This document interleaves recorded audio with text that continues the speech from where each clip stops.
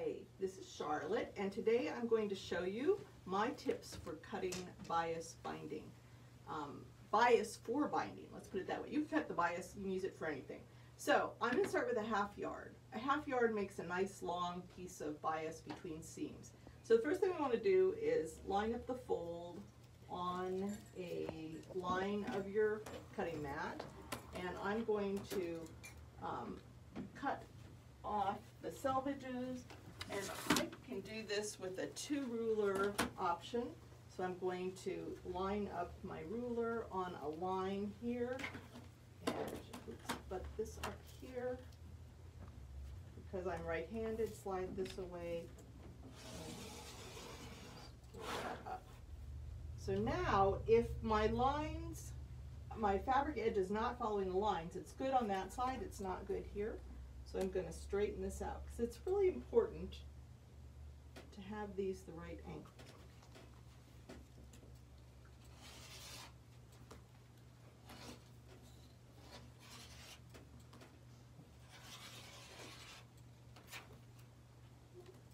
That's where I goofed.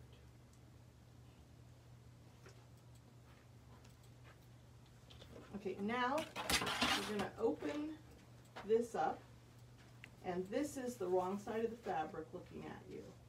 I'm going to pull this corner down. This is your upper left-hand corner. Pull this down. I'm going to crease that.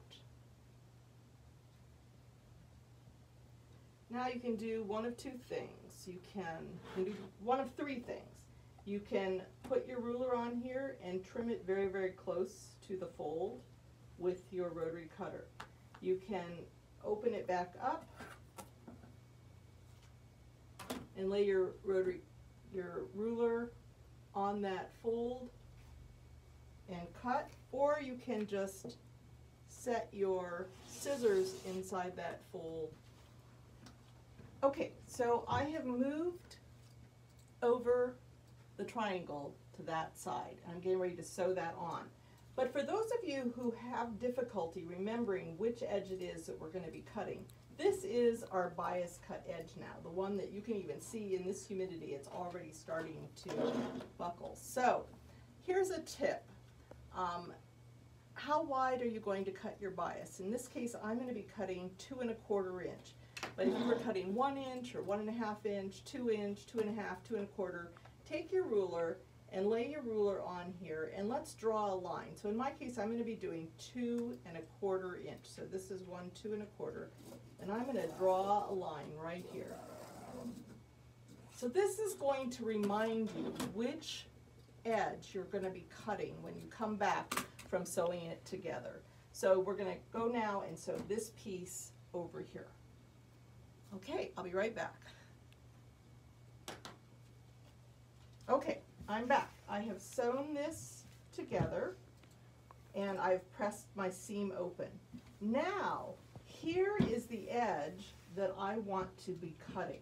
These are straight grain going away from me at an angle. I'm going to position this so this is right in front of me. This is going straight away from my body and that is the bias edge. And I know that I'm reminded by that because there's the line that I just drew. So here's what is handy, is you can fold this in half now. So these edges are matching, and here is my line that I want to cut on. So you can just line this up and start cutting. However, I would recommend that you figure out how many of the size cut you want. In this case, I need two and a half inches and I have an eight and a half inch ruler. Two and a quarter inches, correction, two and a quarter inches, and I have an eight and a half inch ruler. So I can get one, two, three, six and three quarters. I can get three of those out of my ruler. So I'm going to actually position my ruler at the six and three quarter. And I'm going to measure off of this uncut edge. So there is my six and three quarters. Now I can do four and a half is two and a quarter twice, so there is my four and a half line right there. And now what this does is this makes this that I am cutting now, that is going to be the perfect size from top to bottom because I am measuring off of my original line. If you do it, my two and a quarter, so now I have three of those, I can set those aside. If I was going along like this and doing two and a quarter and cut, so very often that budges just a little bit. And then I come and I line the next one up, it budges a little bit more. Pretty soon, this line is not um, perpendicular, so I end up with like a little wedge in the fold, or it's getting narrower. The other tip I have is to fold this back down and make this a little bit shorter. And you can see how this is done by folding this up to match, and then this one folds down and meets it. This folds up in here. And you can continue cutting the same way. So when I have all of my strips cut, I like to stack these, and it doesn't matter whether it's up or down. But I can stack these.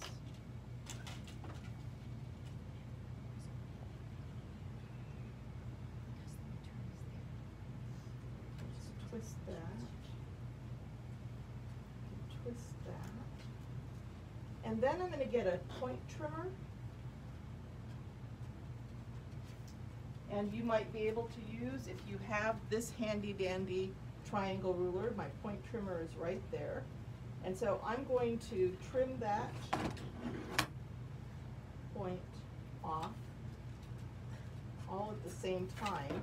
And what this allows me to do is now when I go to sew these together, you see my tip is blunted, and now I know exactly where to place that.